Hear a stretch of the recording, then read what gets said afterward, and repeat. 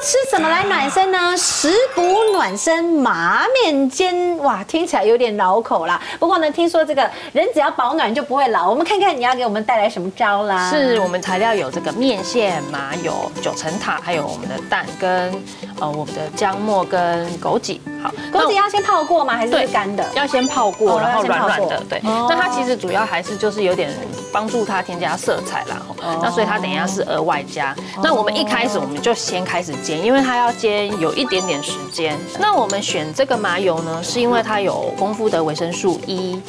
我们就直接让它先煎，因为它要一点时间，它才哎会。呀，好香哎！它才这样马上就开始香起来了？我怕有点太多，就是面线烫了之后，不要烫太软烂啦。然后呢，其实没关系，因为它煎很久，给它铺大一点，铺薄一点，比较好煎脆。对再来，我们先来做这边。好，首先我们用鸡蛋，鸡蛋有丰富的维生素 B 群，然后还有钙。那我们选用九层塔的原因是因为它其实在我们中草药里面呢，它是有活血行气的效果，另外它其实也有丰富的。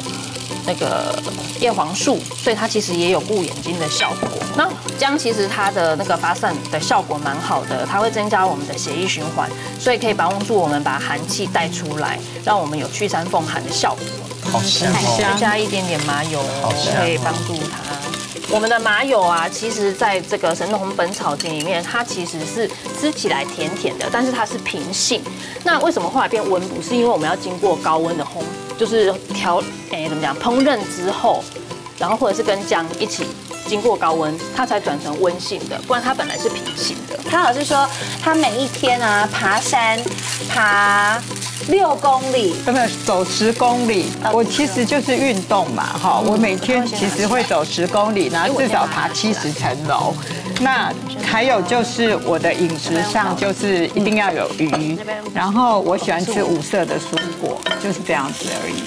因为我看唐老师的就是介绍给我们的烹调方法都是水炒而已。没有，我其实就是很简单啦，但是我也没有只是清蒸水煮，其实我还蛮重视用香料的，所以我用很多九层塔、香菜，然后姜蒜这种东西。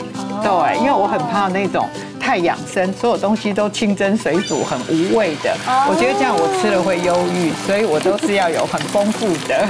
还有像这样子，就像这样子下下去了以后，立刻，你也是用麻油煎，对，我是用麻油煎。那如果说有些女生她真的是比较会 care 一点热量啊，其实你也可以不要又加面线，就是因为面线它是增加一个饱足感。那如果你不要的话，你可以单纯做这个烘蛋也可以。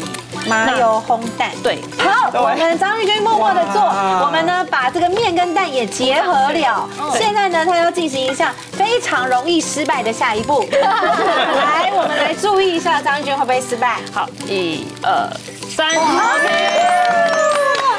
好完美哦！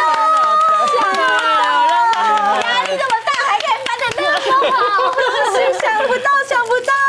我原本想说，就是我已经想好要怎么取笑他了，没想到现在挺过了。人家不愧是专业人士，有练过，有练过，厉害有在做，有在做。好，那我们再把枸杞放下去哦。啊，张玉君处变不惊，真的好漂亮哦！最后还是重回了一点中医的 feel。好，这就是我们的食补暖身麻面煎，赶快来吃我们的麻面煎！哇，哎，刚刚切下去的时候，我们是用菜刀分的，脆脆的，这样脆脆，这样咔咔咔咔的声音，啊，吃起来有没有脆？好脆哦，有脆了。有脆，嗯，如果真的像张玉君这个张医师讲的一样，我们把那个面给它弄少一点，或锅子给它铺大一点，给它煎到锅巴，就更有 feel。对，如果在家里面时间很够的话，其实可以慢慢煎，那你就会有一层是酥酥的感觉，这样子。哎，张医师，你刚刚有加盐巴吗？没有，我选的这个面线呢是本来就有一点点盐度的，哦，所以我们就没有加。盐巴。对，因为我没有印象你有在桥段，但是有咸呢。对，然后如果你想要吃味道比较重的话，你就可以九层塔多加一点，因为它有活血行气，而且它是温性的，嗯，所以它就可以也是有点活络气血。对，刚刚那个姜跟那个蛋配在一起，然后加上这个九层塔，很刚好哎。因为我想说，吃到姜姜末有时候会有点怕那个口姜的口感，可是它整个很 OK 哎。嗯，天然的这样子，完全没有加任何的其他的佐料，就已经很有丰富感了，很有味道对，哎。很有味道了，很好吃哎。嗯，我们呢很会做菜的陈医师给出了很大的赞美。大家一定要试试看。那我们之后也会看陈医师要如何给我们这个带来好菜哦。好，今天的这个麻面煎推荐给大家啦。